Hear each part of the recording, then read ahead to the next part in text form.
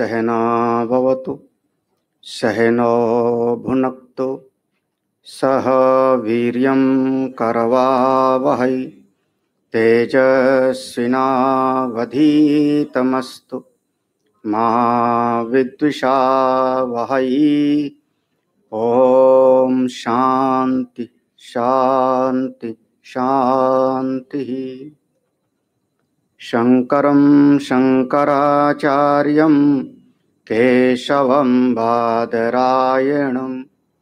सूत्रभाष्यकृतौ वंदे। भगवन्तो पुनः पुनः। ईश्वरो गुरुरात्मेति मूर्तिभेदविभागिने।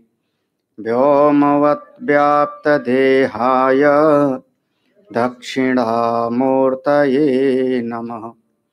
सदाशिवसमारम्भां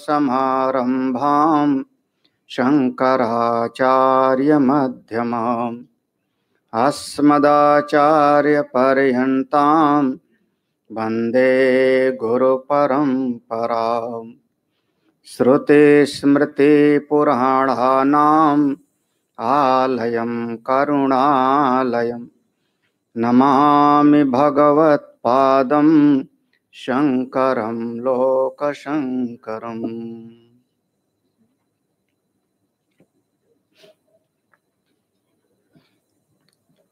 अध्यात्म विद्या केंद्र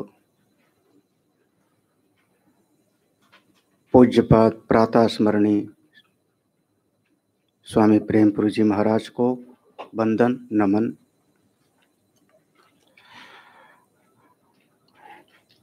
अन्य सभी महापुरुषों को मेरा प्रणाम।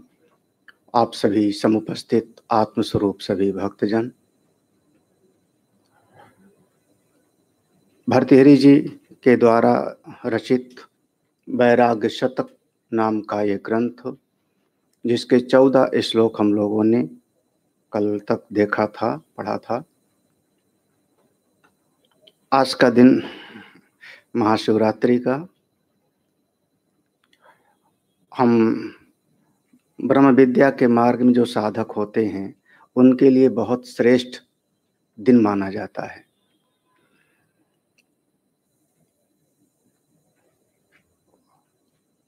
ऋषिकेश वगैरह में तो संन्यास दीक्षा आज के दिन बहुत ज़्यादा होती है। जन्मदिन है तो मुबारक, आशीर्वाद मेरा, बहुत सारा। जो भी सभी दिन भगवान का है। भगवान से उसे कुछ चीज़ें सीखने वाली हैं। चलिए, एक चीज़ तो हम भरतेरी जी महाराज जी से चिंतन करते हैं। एक त्याग होता है बाहर का और एक त्याग होता है अपने भीतर से, आंतरिक त्याग। वैसे जो साधक का जीवन है, उसके जीवन में दोनों ही होना चाहिए। विशेषता यही है, जो लोग भीतर से त्यागते हैं, उनको एक अलग तरीके का अहम वृत्ति पैदा हो जाती है कि, अरे, त्याग तो भीतर की बात है। बाहर से छोड़ने की क्या ज़रूरत है? और दृष्टांत में तुरंत आदमी कह देगा, जनक महाराज भी तो राजमहल में रहते थे, भीतर का त्याग। जो लोग बाहर का त्याग करते हैं और बाहर से बाह्य जगत को त्याग करके कहीं तीर्थ में, एकांत में निवास करते हैं, उनके भीतर जो गृहस्थ आश्रम में लोग रहते हैं, उनके प्रति थोड़ी हे भावना आ जाती है। और कई जगह पर संतों के बीच में किसी को जैसे अपशब्द बोलना हो तो कहते हैं, गृहस्थियों जैसे बात कर रहा है। हाँ चलो हटो गृहस्थी जैसे। ऐसा, वृंदावन में, ऋषिकेश में, ऐसा वहाँ पर संतों के बीच की बात है। तो एक बाहर का त्याग है, भीतर का त्याग है, और वास्तव में दोनों ही हमको ज़रूरत है। केवल बाहर के त्याग से तो बाह्य त्याग तो हो जाएगा लेकिन भीतर की पकड़ बनी रहेगी तो अभी एकाध जन्म की साधना आगे और करनी पड़ेगी। बाहर का त्याग भी आदरणीय है, इतना हे नहीं है। हाँ चलो अभी बाहर का त्याग हो गया, मन से नहीं हुआ तो एकाध जन्म की साधना उसकी आगे बढ़ जाएगी। भीतर का त्याग हो जावे, बाह्य वस्तुओं का त्याग ना होवे तो बहुत संभावना ये होती है कि आदमी अपने मन की कमियों को ही जस्टिफाई कर लेगा। हम सबके बीच में रहते हैं, लेकिन हमारा किसी से ममत्व नहीं। ये पता कब लगता है? जब कोई वस्तु हमसे छूटती है, तब पता लगता है कि उसमें हमारी आसक्ति है कि नहीं है। जब तक पास में रहती है कोई वस्तु, तब तक आदमी को एहसास नहीं होता कि हाँ आदमी कह सकता है, अब हमारा किसी से ममता नहीं, किसी से मोह नहीं, किसी से आसक्त नहीं, सब देख लिया दुनिया को। ऐसा बोलचाल में आदमी कहता है। लेकिन वास्तव में भी पहचान होती है जब कोई वस्तु हमसे हटती। अब उस समय देखो चित्त हमारा विक्षिप्त हुआ कि नहीं। हमारे चित्त की शांति बनी है कि नहीं बनी है। तो दोनों प्रकार के त्याग की ज़रूरत है। बाह्य त्याग भी और आंतरिक त्याग भी। दोनों की ज़रूरत है। भगवान शिव बाहर से भी त्याग है। एकांत में विराजमान है, कैलाश पर कुछ भी नहीं है। और भीतर से भी त्याग कैसा होगा कि एक बार मन से उन्होंने त्याग दिया, सती जी को मैंने त्यागा। तो बाहर से कहा नहीं चली जाओ यहाँ से? पहुँच गए, कैलाश पर साथ लेके गए। आंतरिक त्याग है। समाधि लगा लिया। और बीते संबत सहस सता, सतासी हज़ार वर्ष की समाधि लग गई। वहाँ सती जी हैं वहाँ पर। ऐसा नहीं कि नहीं है। सब लोग हैं, लेकिन अपने स्वरूप में जाकर के वो निष्ठ हो गए। शंकर सहज स्वरूप संभारा लाग समाधि अखंड अपार। तो भीतर से भी त्याग और बाहर से भी त्याग। चलो हम लोग पंद्रहवा श्लोक पढ़ लेते हैं एक बार। इस समय पंद्रहवें श्लोक में जो वर्णन है कि बाहर से तो त्याग कर दिया, लेकिन भीतर का त्याग नहीं हुआ तो एक विडंबना हो जाएगी। पढ़ते हैं। भिक्षासनं तदपि नीरसम् एकवारम्।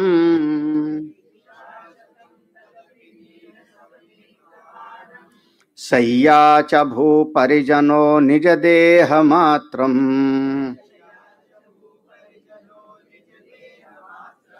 वस्त्रं विशीर्णशतखण्डमयी च कन्था।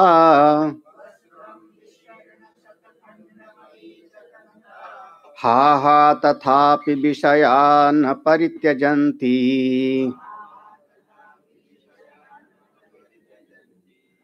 भिक्षा, यहाँ शतम छपा है, वो ना होना चाहिए, ताकि जगह पर ना।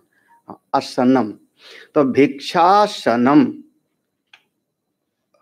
भूख लगी, घर छोड़ करके एकांत में चला गया तपस्वी, तपस्या करता है।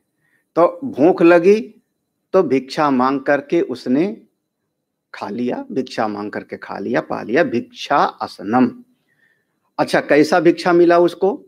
कहते, नीरसम। ऐसा भिक्षा मिला जिसमें कोई स्वाद नहीं था। और साथ ही साथ एक बारम दिन में एक बार, दिन में एक बार कहीं भिक्षा मांगने चले गए, जो मिल गया, सो ही उन्होंने पा लिया। ऐसे ऋषिकेश वगैरह में कई संत लोग थे। भिक्षा जो मिली, उसको कपड़े में रखते थे और गंगा जी में ऐसे ऐसे हिला देते थे। तो उसका जो नमक और मीठा का स्वाद है, वो सब बह जाता था गंगा जी में और उसको पा लेते थे। ऐसे संत को हमने देखा है। अभी भी एक संत उनका नाम खपरिया बाबा। खप्पर रखते थे, जो भी मिला खप्पर में डाल दो। मीठा भी, नमकीन भी, और उसी में से खा लेते। उनके दर्शन किए हमने। तो ऐसे संत लोग अभी भी हैं। अब इन संतों को देख करके, जो सिद्ध महापुरुष हैं, उनकी जीवनी को देख करके कोई तपस्वी है, वो भी चला गया और उसने भिक्षा मांग करके निस्वाद एक बार भोजन कर लिया। रहता कहाँ है? सैया चा भू। ज़मीन पर ही सो गया। सैया क्या है? ज़मीन पर भी सो गया, जहाँ मिली। अच्छा कुछ तो उसके परिजन होंगे, अपना कहने वाले, सेवा करने वाले। कहा हाँ निज देह मात्रम। केवल अपना ये शरीर ही उनका परिजन है, सेवा करने वाले और कोई नहीं रहते। वस्त्र वस्त्रम विशीर्ण सतखंडमयी। सतखंड सड़क पर कोई वस्त्र पड़ा था, किसी ने फेंक दिया था। उसमें ढेर सारे छेद हो गए थे, सौ टुकड़े जैसा। सतखंड माने सैकड़ों टुकड़े वाला, जोड़ करके एक गुदड़ी बना लिया, कंथा कहते हैं गुदड़ी को। लगभग ए नाथ संप्रदाय में गुदड़ी अभी भी रखते हैं। कथरी बोलते थे उसको कथरी कहीं, गुदड़ी। और वो अभी भी वो लोग रखते हैं नाथ परंपरा में। तो वो वो सुई से ऐसे से सिलते हैं पुराने कपड़ों का तो वो कंथा माने वही चीज़। तो सैकड़ों टुकड़ों से जोड़ करके एक बना लिया गुदड़ी और वही उन्होंने रख लिया, सर्दी हुई तो उसी को ओढ़ लिया, किसी तरीके से जीवन जी लिया। पूरा का पूरा त्यागमय जीवन तो है बाहर से। भीतर से क्या हो गया? हा हा, अरे अरे, आश्चर्य है आश्चर्य है।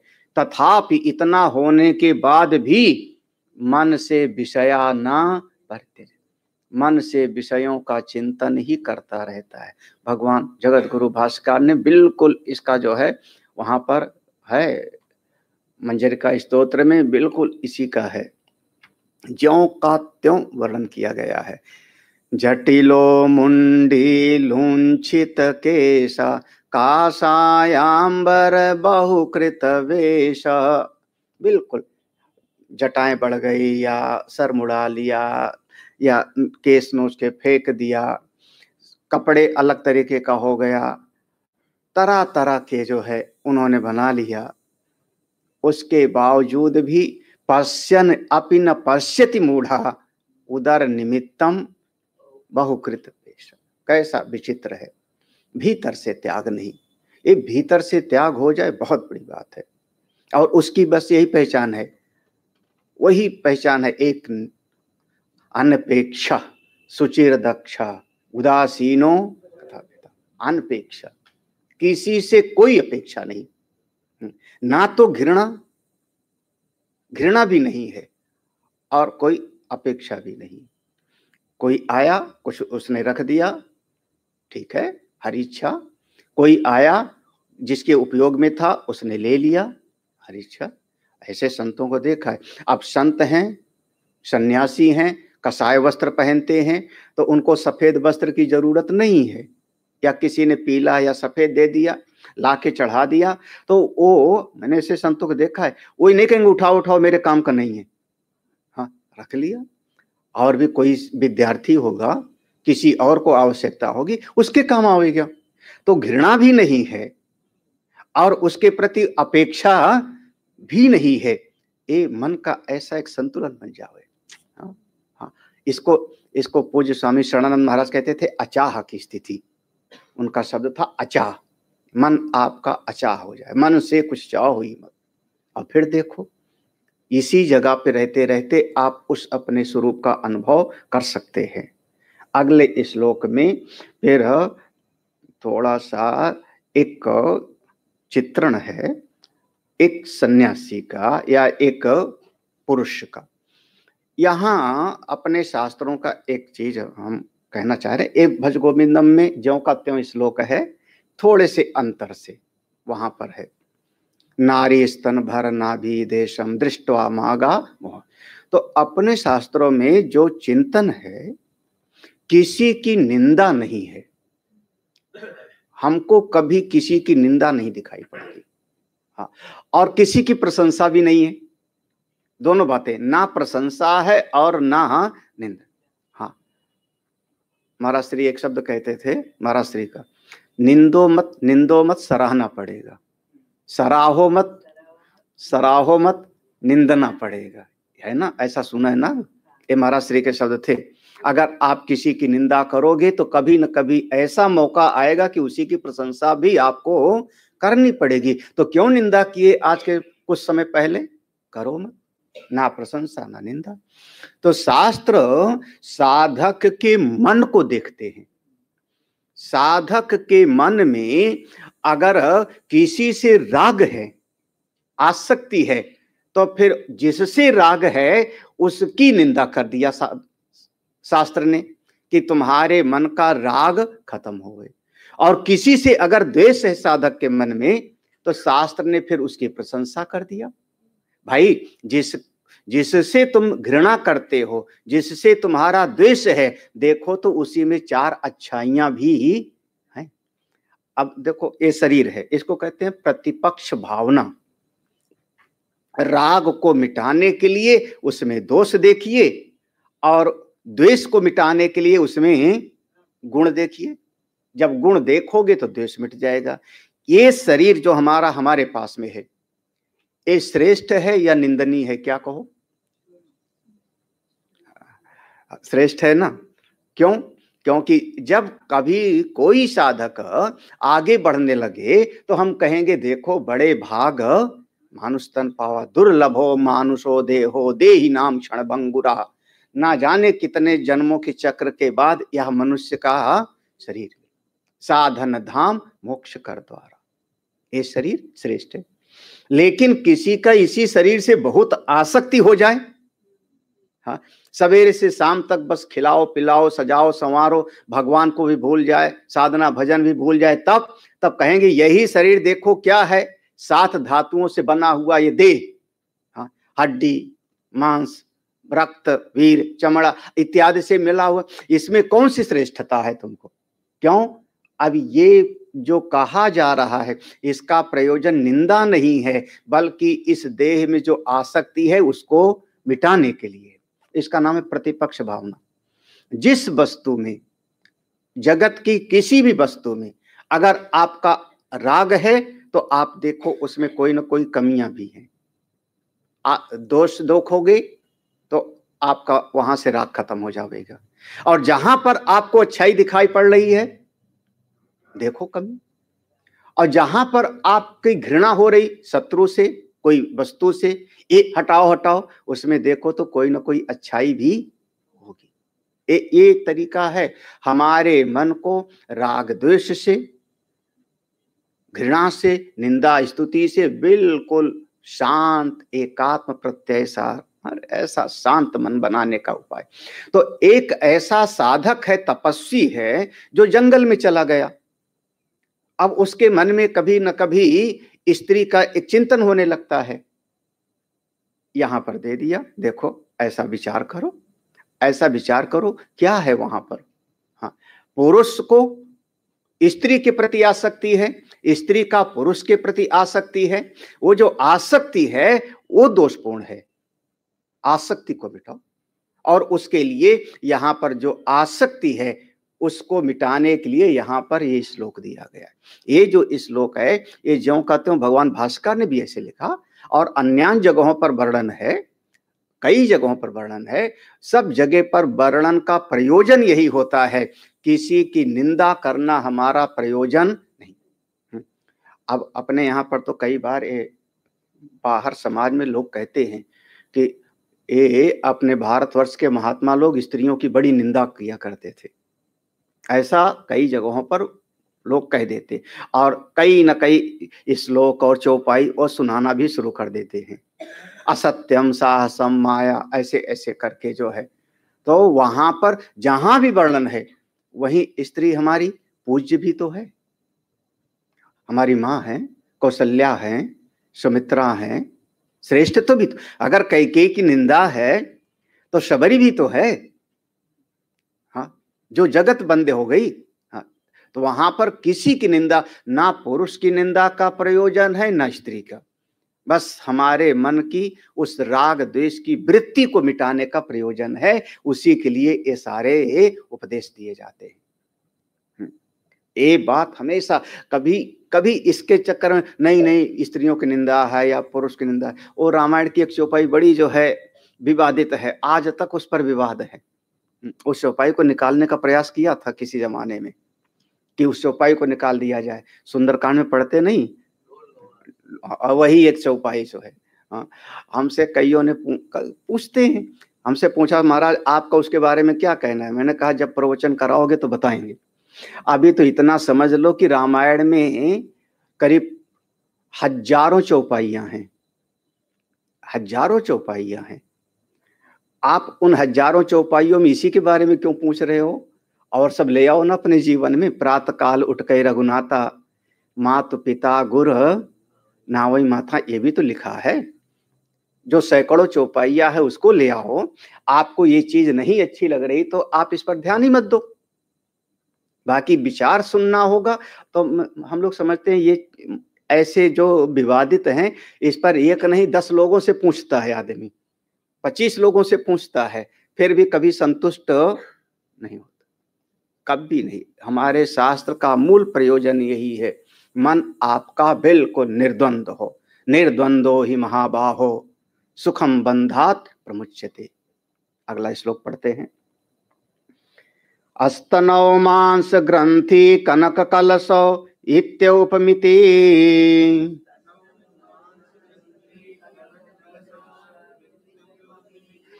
मुखम श्लेष्माघारम तदपि च शशांकेन तुलितम्।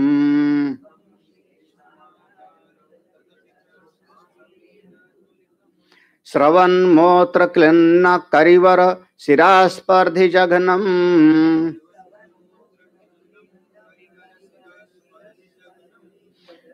मोहर्निन्द्यं रूपं कविजन विशेषै गुरुकृतम्।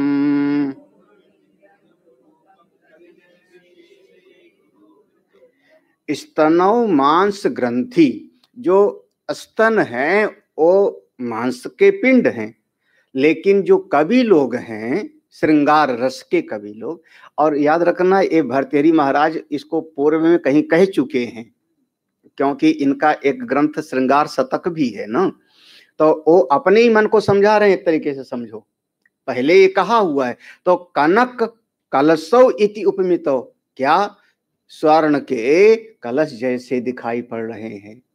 ये उपमा दिया, एक कवियों ने उपमा दिया, है मांस पिंड, लेकिन कवियों की उपमा में उसकी सुंदरता, उन्होंने कहा, मुखम श्लेषमा गारम, जो मुख है, इसमें से अरे महाराज, क्या रिश्ते, सवेरे उठो तो आँख से कुछ बहता रहता है, बिना धोए मुँह नहीं देखा जा सकता, नाक से भी, मुँह से भी। लेकिन कवियों ने उपमा क्या दिया?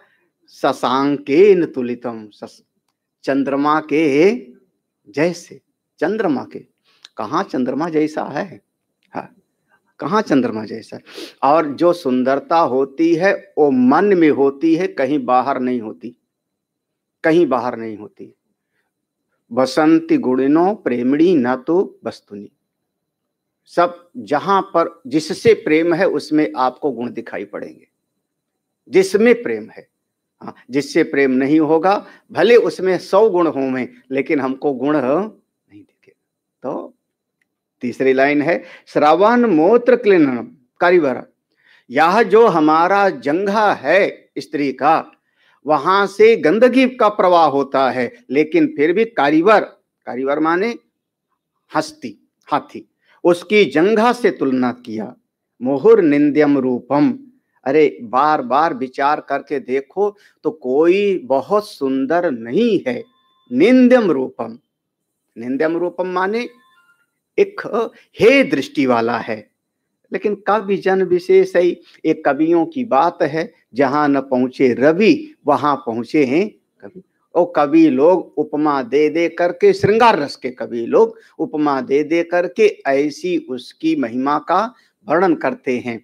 लेकिन जब हम विचार करते हैं तो ऐसा कोई श्रेष्ठ तो दिखाई ही नहीं पड़ता। अब ऐसा मत समझना कि वहाँ स्त्री की ही निंदा है। अब चूँकि वो कोई तपस्वी पुरुष है, उसके मन में स्त्री का चिंतन चल रहा है तो यहाँ स्त्री का वर्णन आ गया। अगर कोई स्त्री होती साधक, तब तब शायद पुरुष का शरीर भी तो ऐसे है। कोई पुरुष का शरीर सोने से थोड़े बना है, उसका भी शरीर यही हड्डी, मांस, रक्त आदि से तो बना हुआ है। उसका भी शरीर यही है।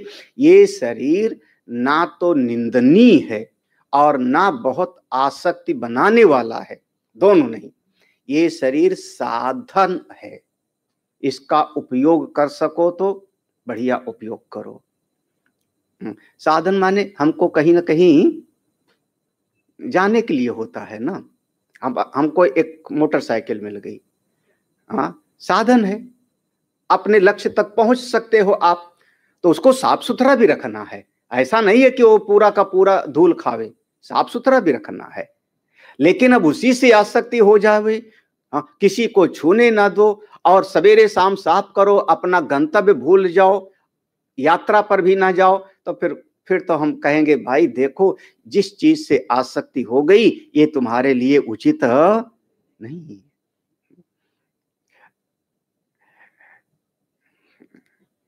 फिर से भगवान शंकर जी का वर्णन करते हैं, देखो। आज तो हाँ। एको रागिसु राजते प्रियतमा देहार्दहारी हरो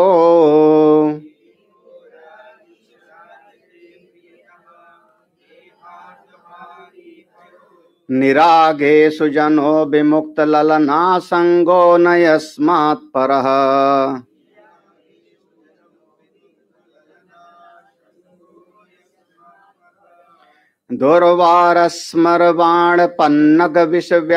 विद्ध मुग्धो जनः।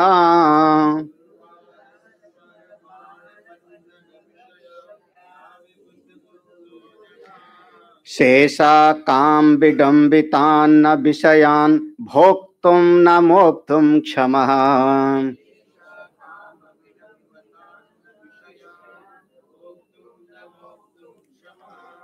एक कहा रागिसु, आसक्ति करने वालों में, रागिसु माने आसक्ति बनाने वालों में, राग करने वालों में, हमको ये कही रागी दिखाई पड़ रहे हैं।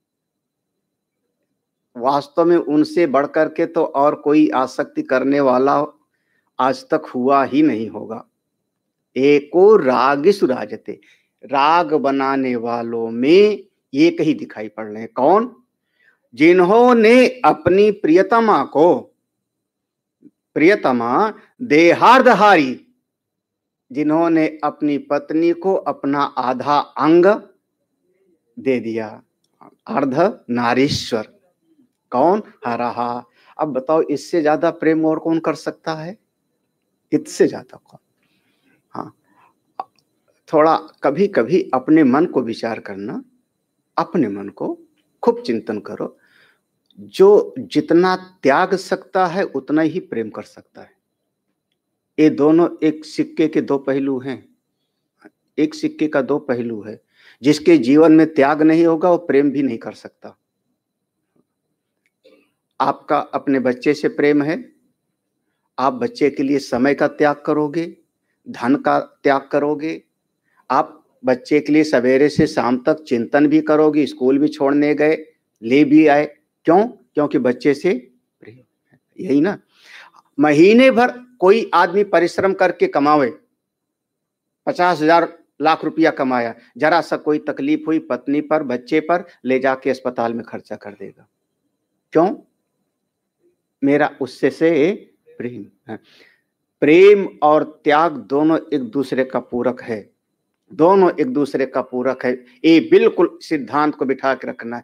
हाँ दोनों बात। जितना आप प्रेम करोगे, उतना ही त्याग भी माँगता है। उसी मात्रा में। उसी ही मात्रा में। हाँ। एक आना प्रेम तो एक आना त्याग। सोलह आने प्रेम तो सोलह आने त्याग। अब दूसरी भाषा में कहूँ, भगवान से प्रेम है, झूठ मत बोलना। भगवान से भी प्रेम है कि भगवान से ही प्रेम है? ओ ही और भी में जो है महात्मा लोग मज़ा लेते हैं। हाँ है ना? भगवान से ही है या भगवान से भी?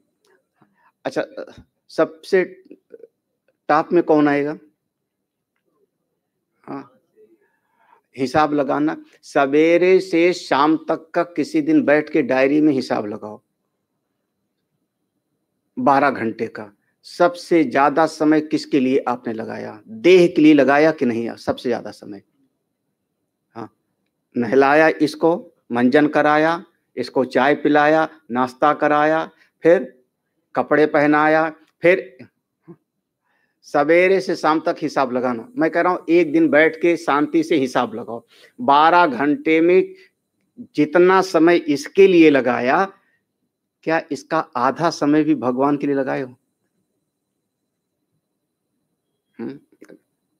आप लोग भले लगा लिए होंगे आप लोग सत्संगी लोग लेकिन औरों से अगर पूछूँ तो? औरों से पूछें तो? हाँ, तो वो भले आदमी कहे कि मेरा भगवान से प्रेम। अच्छा भगवान से अगर प्रेम है तो भगवान पूर्ण है कि नहीं? पूर्ण मदह है? वो पूर्ण है। तो जब मिलेंगे तब पूरा का पूरा मिलेंगे। हाँ ऐसा तो नहीं कि आधा अधूरा मिलेंगे।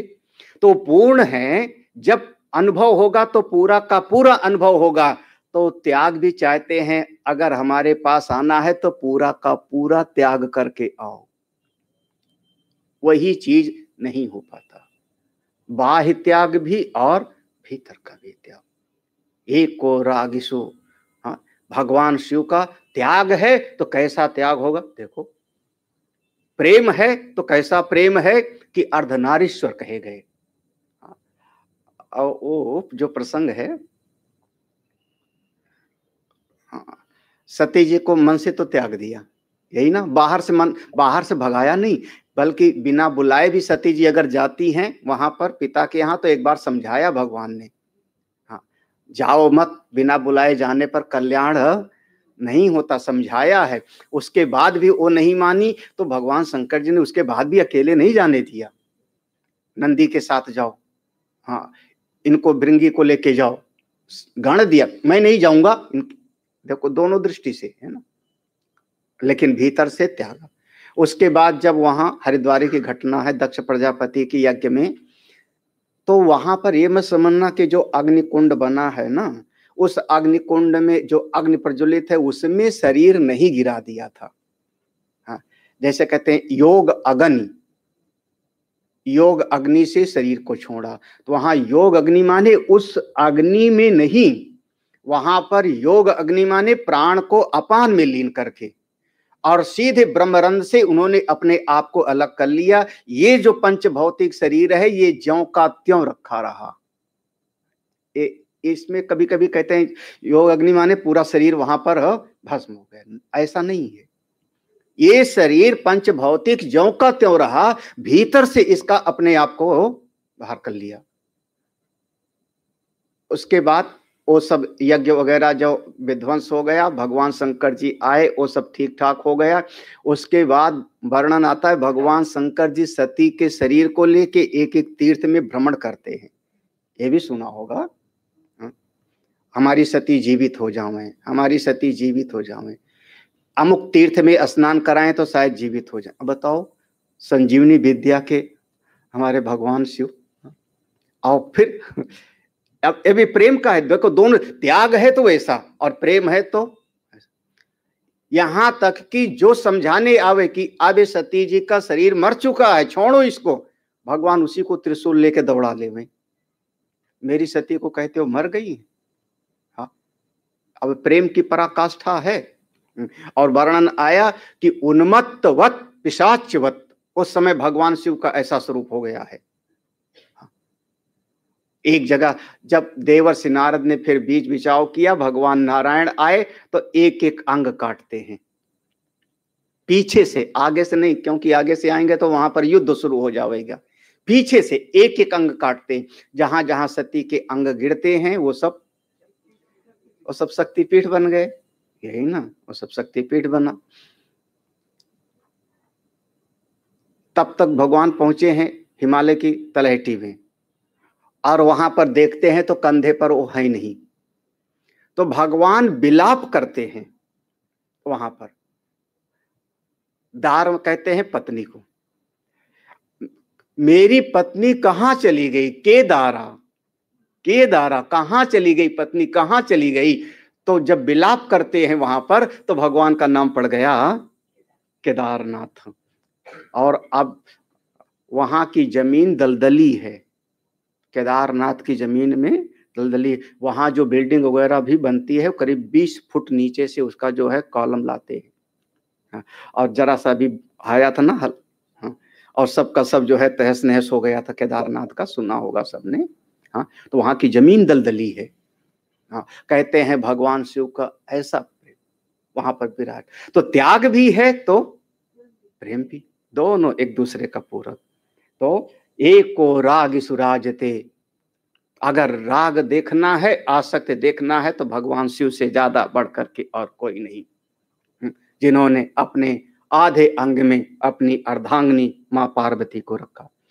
निरागे सुजनो अरे अगर निरागे सुजन निरागे सुजन माने जिनके भीतर कोई आसक्ति नहीं है। विरक्त लोग हाँ निरागे सुजन जो विरक्त लोग हैं, उनके बीच में देखना हो, निरागेश जना तो विमुक्त ललना संगा, भगवान शिव तो एकाकी विराजमान होते हैं। उनसे बढ़कर के और कोई दूसरा है ही नहीं। क्योंकि शिव कौन? शिवम अद्वैतम चतुर्थम मनते सा आत, वो तो एक ही है। एक शिव, दूसरा कोई और है ही नहीं। दोनों दृष्टि से। अगर त्याग की दृष्टि से देखो तो भगवान शिव हमारे आदर्श हैं। प्रेम की दृष्टि से देखो तो भी भगवान शिव हमारे आदर्श है। बाकी संसार के लोगों का क्या है? संसार के लोग तो न त्याग सकते हैं और ना प्रेम ही कर सकते। ये संसार के मतलब थोड़ा थोड़ा रह जाता है। थोड़ा थोड़ा एक सरल भाषा में कहा जाता है, कोई भी चीज़ अगर अति में मिल जाए तो उससे वैराग्य हो जाता है। थोड़ा थोड़ा मिलता है तो उससे बैराग वैराग नहीं होता। अति में मिल जावे। कोई कोई खाने की ऐसी चीज़ है जिसमें बच्चे का बड़ा राग है। हाँ, आप उसको एक दिन बिठा करके ज़बरदस्ती खिलाओ ढेर सारा। हाँ, तब तक खिलाओ जब तक उल्टी ना हो जाओ हाँ खिलाओ डंडा मार मार करके तो उसको ये चीज़ ज़्यादा पसंद है। खा खा आज खा आज। हाँ आप देखना वो फिर दो सालों तक उसकी तरफ़ उसका देखेगा नहीं, मुँह नहीं जाएगा अति सर्वत्र तो संसार के लोगों को प्रेम भी पूरा नहीं मिलता तो इसलिए उनका त्याग भी पूरा नहीं हो। बीच में रह जाते, वही कह रहे हैं।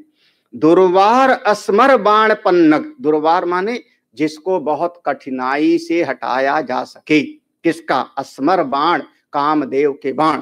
कामदेव के प्रभाव को जिनको बहुत मुश्किल से हटाया जा सकता है। पन्नग विष, पन्नग कहते हैं सर्प को। पन्नग विष, जैसे सर्प का जहर होता है, विद्ध अगर किसी को डस लेवे, सर्प, उसका जहर चढ़ जावे तो उसका शरीर लहराता है। लहर मारता है उसके नशे से, सर्प के नशे से।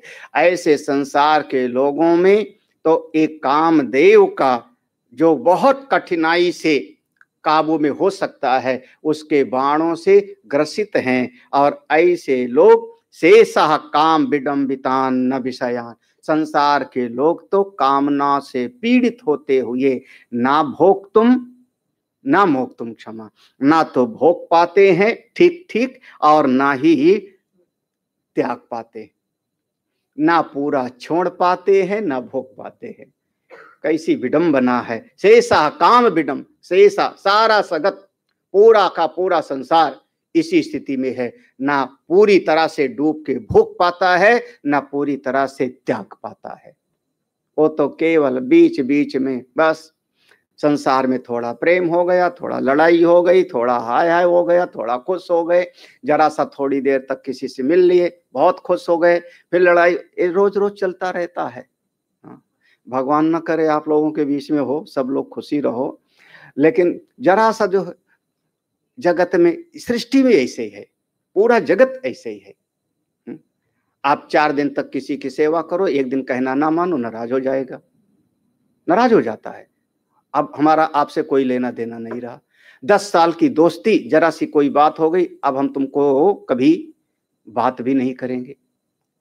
एक दिन एक दिन जिस कन्या के लिए लड़का घर छोड़ के चला जाता है, जिस लड़की के लिए छोड़ दे, लड़की ने छोड़ दिया लड़के के लिए, साल दो साल के बाद में फिर उसी से कहते हैं, चलो अब पेपर तैयार करें, दोनों ड्राइवर से ले लेते हैं। क्यों? बोले, ना तो उतना प्रेम और ना ही उतना त्याग बस बीच बीच में बीच बीच में ऐसे डावा डोल रहते हैं। बाकी तो अगर देखना है तो मेरे आदर्श कौन? भगवान शिव। आ, प्रेम को भी देखना हो तो उनसे ज़्यादा प्रेम करने वाला और कोई नहीं है। त्याग भी देखना हो तो। अच्छा इसको कहते हैं विरुद्ध धर्माश्रय, आप घटा लो। दो विरोधी धर्म का आश्रय प्रभु होते हैं। भगवान राम का प्रेम कितना है? हाँ। कितना प्रेम?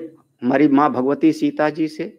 हाँ। बंदर भालुओं की सेना लेकर के इतने बड़े समुद्र पर पुल बना करके, पूरे कुल का नाश करके, ता रावण घर दिया ना, बात माँ भगवती को ले है और जब भीतर से त्यागा तो लक्ष्मण लेकर के जाओ और जा करके वन में छोड़ो। दोनों, ये विरुद्ध धर्माश्रय है। आप सावधानी से समझना। हाँ इसको चैतन महाप्रभु जी बहुत ज़ोर देते थे। वज्रादपि कठोराणी मृदोनि कुसुमातपि। वज्र से भी कठोर और फूल से भी कोमल। अच्छा कन्हई का जीवन ले आओ। हाँ बिना गोपियों के कन्हई की कोई कल्पना हो सकती है? जिस ब्रज में इतना प्रेम जिस ब्रज में उनका इतना वहाँ क्रीडा वहाँ राधा जू हैं अन्यान गोपियाँ हैं हाँ, उस ब्रज को एक बार छोड़ के गए तो दोबारा कभी आए नहीं। दूर कितना था मथुरा से? मथुरा में सत्रह बार युद्ध हुआ जरासन से। मथुरा में सत्रह बार लड़ाई हुई। मथुरा से वृंदावन कितना किलोमीटर है? कभी गए हो कि नहीं? कितना किलोमीटर है? मथुरा से वृंदावन। सोलह किलोमीटर एक दिन में चार बार आप आओ जाओ। भगवान कम से कम सत्रह बार युद्ध हुआ तो सत्रह साल तो रहे होंगे। सत्रह बार अगर युद्ध होता है जरासन से, उसके बाद फिर काल यवन आया तो भागते हैं वहाँ से द्वारका गए। तो सत्रह बार युद्ध में सत्रह साल लगे होंगे तो सत्रह साल में एक बार भी क्यों नहीं आए? अजीब सा लगता नहीं? हाँ? अगर प्रेम है तो पूरा का पूरा, त्याग है तो पूरा का पूरा। हाँ ये है परमात्मा का स्वरूप। संसार के लोग तो बस उसी में हैं आप बस ये अगर आप देखो इसी बात को, शास्त्र से प्रेम है तो पूरा का पूरा हो जाए। भगवान से प्रेम है तो पूरा का पूरा हो जाए पूरा उसमें समा जाओ फिर और कुछ याद भी ना रहे हमारे चित्त में। ऐसी चित्त वृत्ति हो जावे अपने आत्म स्वरूप से प्रेम हो तो बिल्कुल मेरा अपना वही स्वरूप हाँ। फिर कोई बाधा ना देवे कुछ भी कुछ भी होता रहे, आपकी समाधि टूटे ना, आपका जो अंतर जगत से जो भाव जुड़ा है टूटे ना, पूरा का पूरा टूट के देखो। ज़्यादातर पूरा का पूरा होता नहीं, थोड़ा ये, थोड़ा वो थोड़ा वो थोड़ा वो हाँ। अपने, अपनी साधना के लक्षण को पहचानो। कई बार ऐसा हो जाएगा। एक माला गायत्री का जाप कर लिया, एक माला फिर जो है महामृत्युंजय का जाप कर लिया एक माला जो है गुरु मंत्र का जाप कर लिया फिर मन में आया गणेश जी का भी एक माला जप लो। आपके किसी एक में पूरी निष्ठा हुई? हाँ, हाँ किसी एक में तो। अगर मैं हूँ मेरे प्रभु हैं तो फिर तीसरा क्यों आता है बीच में? लेकिन हम लोगों के जीवन में होता क्या है? हम डलिया में फूल लें अक्षत लें सब कुछ लें जल लिया, आप मंदिर में चले गए। मंदिर में जा कर के जल चढ़ाना, ये मेरे शिव हैं, मेरी आत्म स्वरूप हैं। आप जो जल है, जो फूल है, जो अगरबत्ती है, सब शंकर जी पे पूरा का पूरा चढ़ा दोगे कि थोड़ा बचाओगे? क्या हुआ? सब चढ़ा दोगे कि सब बचाओगे? और बगल में जो हनुमान जी बैठे हैं बगल में दूसरे देवता बैठे होंगे, तीसरे देवता होंगे।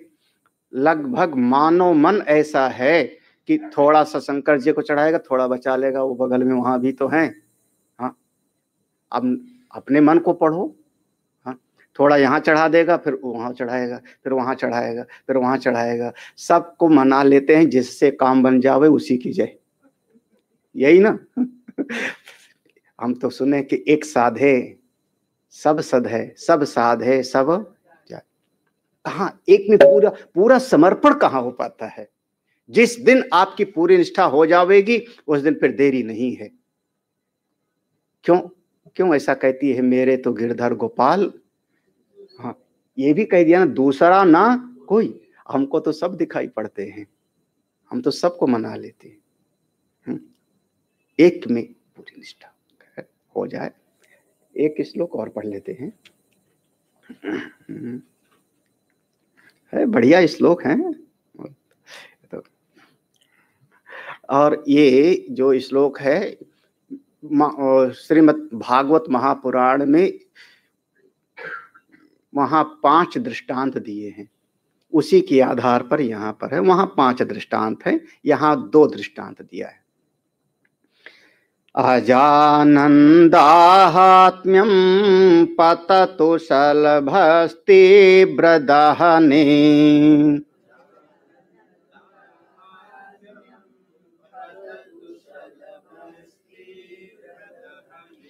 समीनोऽप्यज्ञानाद्बडिसयुतमस्नातु पिशितम्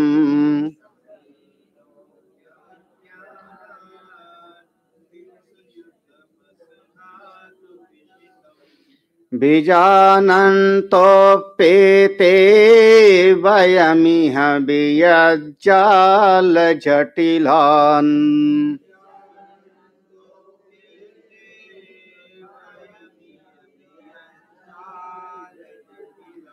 न मुञ्चामकानां नो गहनो मोहमहिमा।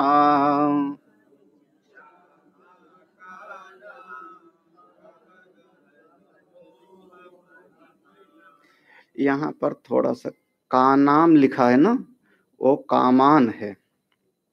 वहाँ पर जो है, इसमें बहुत मिसप्रिंट है। हाँ अजानन, दाहात्म्यम, अजानन, माने ना जानते हुए। वो जानता नहीं।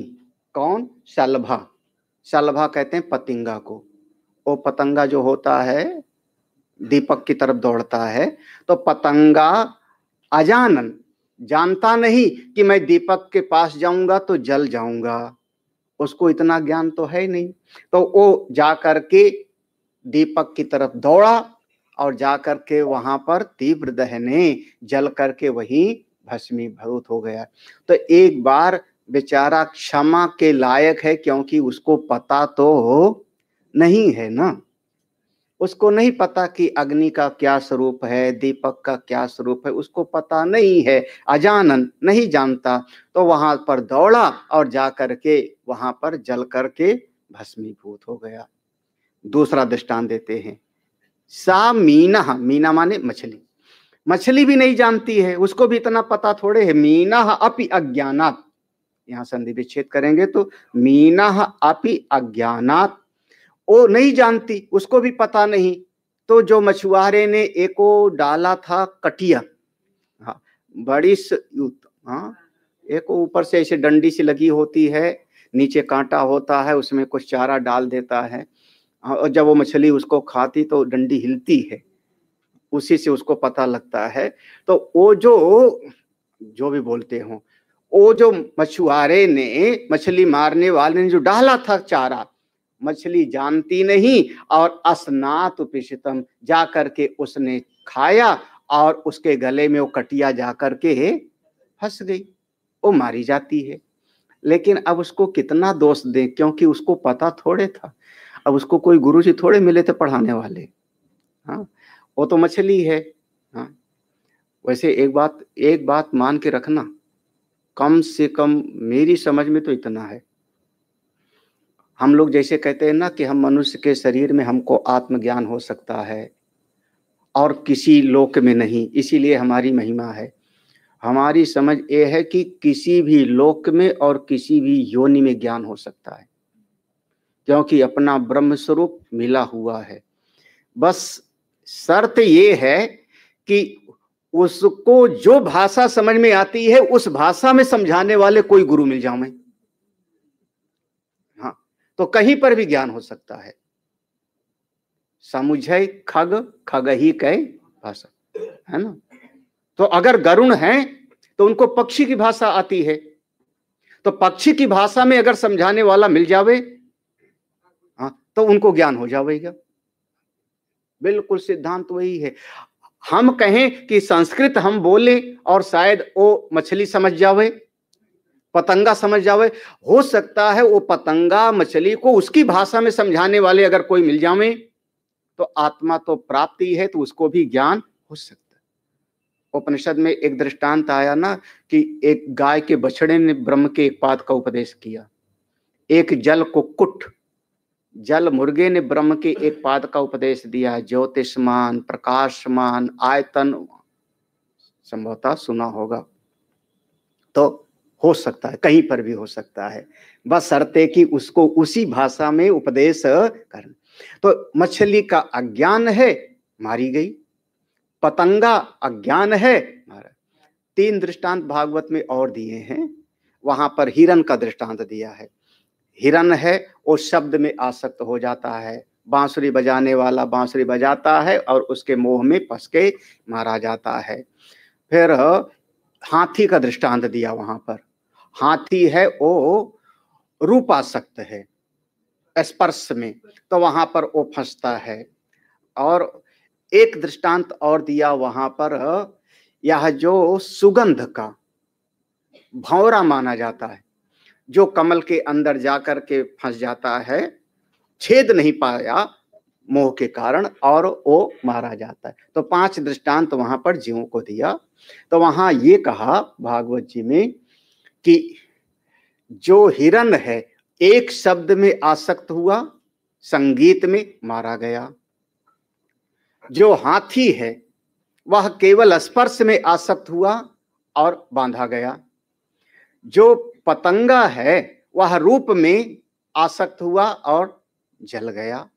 जो मछली है, स्वाद में आसक्त हुई, रस में और मारी गई। और भौरा है, वो गंध में आसक्त हुआ और मारा गया तो एक एक विषय में आसक्त हुए जीव तो मारे गए। मनुष्य तुम्हारा क्या होगा? तुम तो हो पाँचों में आसक्त हो। यही चीज़ कहा। तो उसे वो कह रहे बीजानंत अपियेते, वयम इह बियत जाल जटिलान। अरे हाँ।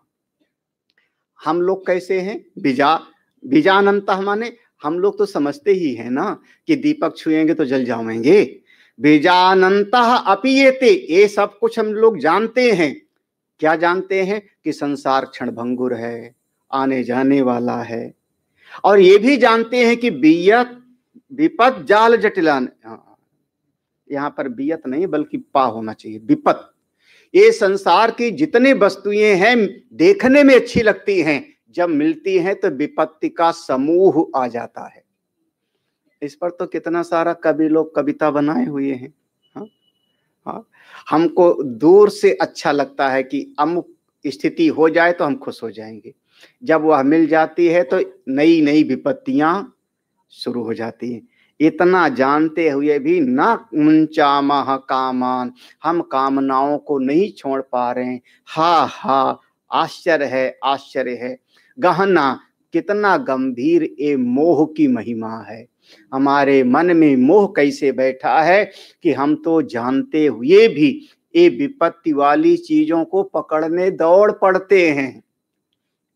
जानते हैं कि विपत्ति की जड़ है, फिर भी उसको पाने के लिए लालायित होते हैं। ऐसी मोह की महिमा है। हे प्रभु, आपकी करुणा मिले, जीव इससे बच जावे। आप लोग आगे बढ़ें। इसके बाद फिर से आगे एक प्रसंग लिया। हम आज महाशिवरात्रि के दिन मेरी हार्दिक शुभकामनाएँ आप सभी को। आज के दिन साधना का दिन होता है। ज़्यादा से ज़्यादा जाप का ज़्यादा से ज़्यादा ध्यान का। अनेक संत लोग मौन रहते हैं। अपना ध्यान रात्रि माने हाँ, शिव माने कल्याण। शिव माने कल्याण। सम करो तो इति शंकर। हाँ, और ऐसा ऐसा कल्याण हो कि हमारे जीवन की सारी अज्ञान रूपी रात्रि चली जाए।